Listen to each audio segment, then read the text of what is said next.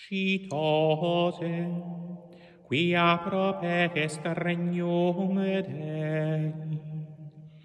Amen dico vobis, quia non tare damis.